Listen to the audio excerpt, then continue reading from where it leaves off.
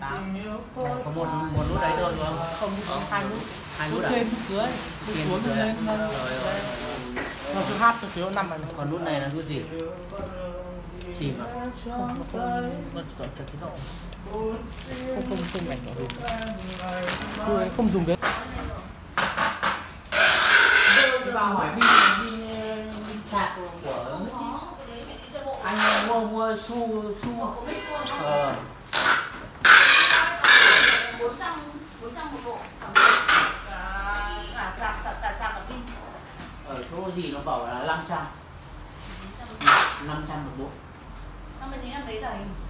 Chưa, chưa, âm, âm, âm. 500 một bộ dạ. Cả cả cả bên, cả cả bên mới có um, 400, 450 Đâu, không liên quan đâu? 09113 không? Bốn con sáu sáu bốn sáu sáu bảy. Số triệu thế. Số đẹp thế. Đẹp cái gì mà đẹp. Nhà chủ cách đây sao? À, à nhà, à, nhà, nhà bác cách đây sao? Dạ, trên tầng đó tuấn tuấn tuấn tuấn tuấn. tuấn vâng.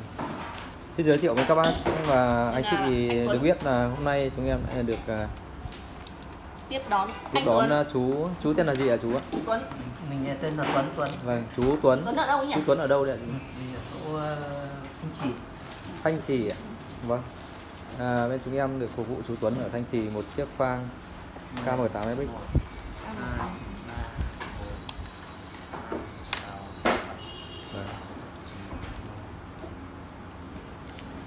Hiện tại là chú đang thanh toán cho bên chúng em. Cái nách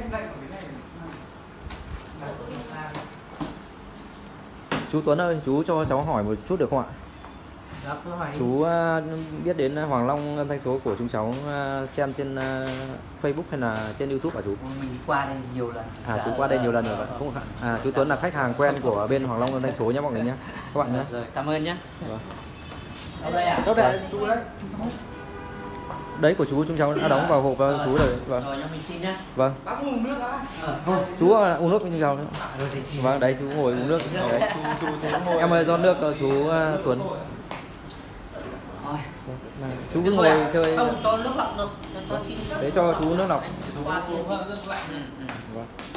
Chắc tù nước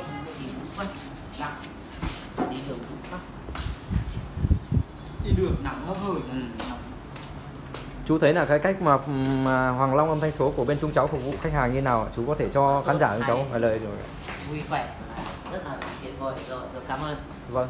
Chú uống nước đi. Vâng. Chú à, đi xe máy hay là đi đi xe máy Vâng, chú đi xe máy. Vâng. Đấy là một khách hàng rất nhiệt nhiệt tình các bác ạ.